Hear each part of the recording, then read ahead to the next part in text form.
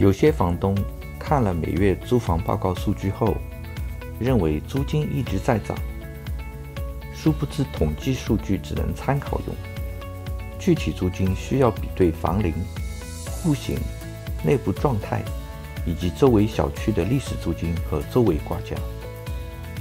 实际上，租金每月甚至每周都会上下波动，这些需要专业的经验和深入市场。普通房东很难敏感的第一时间捕捉到，只能在下个月看到统计数据，时间上已经滞后了，而且无法判断自己的房子是应该高于统计值还是低于它。盲目参考统计数据挂牌的结果是，要么高挂，导致空置增加，等发现租不掉再调整。即使最终跌回到市场接受的范围，通常已经超过一个月了，损失也是挺惨重的。而且，极有可能房东在压力和受挫心态下，误入不良租客的坑，犯下低级错误，导致日后的诉讼和追债。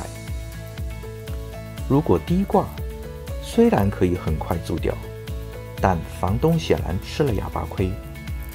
等到发现生米成熟饭了，再要涨租，已经是十二个月后的事情了。而且，万一租金偏低较多，租客到时候也找不到其他更便宜的租金，只能长期租着。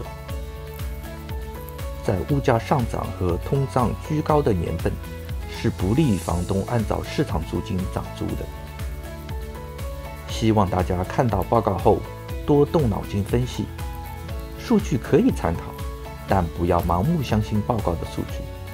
需要尽力多的掌握市场上即时成交数据，并详细了解其他房源的状况和特点，合理的调整自己租金的范围。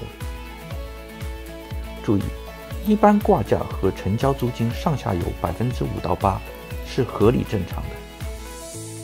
租房是个专业活。如果房东对于自己掌握一手即时的市场租金有困难，不妨可以找可靠的专业出租管理公司委托出租。